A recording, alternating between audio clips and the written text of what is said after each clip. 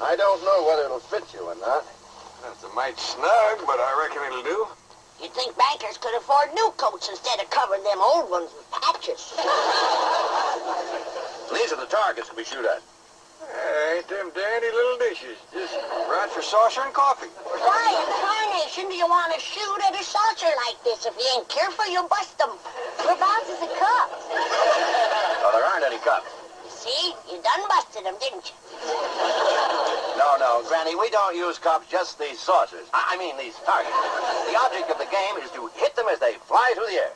Ah, I reckon I'd like to try that. Give me a gun, Jethro. I'll handle the release switch, Chief.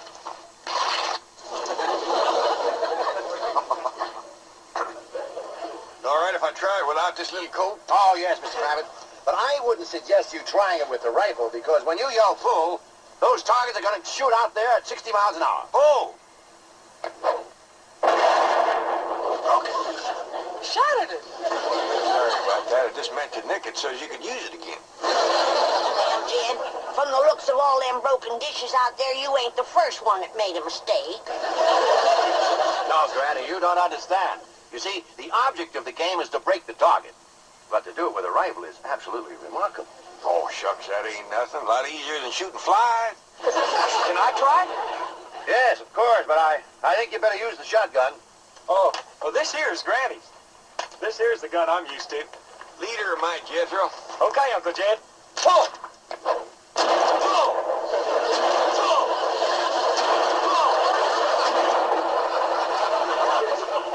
Fantastic feat. Yeah, they's big, all right, but they help him to stand steady. Step aside, Jethro, and give me a whack at busting them things. Can you fling two at once? Yes, but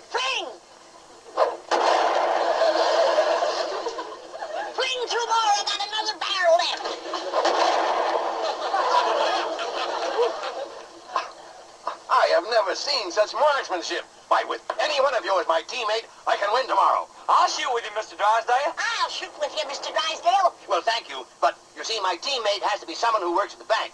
And since Mr. Clampett here just happens to be my vice president, Sure was a stroke of luck for me to get that job just in time to shoot with you.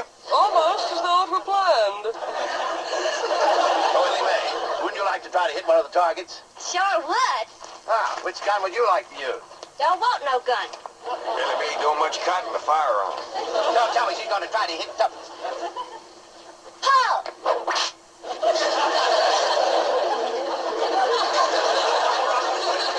And here I stand with my cylinder bore, wide choke, $1,200 imported English skeet gun. That's a dandy, all right. Fella just about couldn't miss with that. Ah, I could. And I think I'd better get in a little practice right now.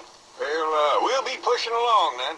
Oh, uh, you mind if I have my cousin Pearl to let this out of mite? I can shoot a lot better it don't bind me so tight. Be my guest, Mr. Clampett. Well, I'll pick you up about 9 in the morning. hmm? Fine and dandy. Bye. Bye.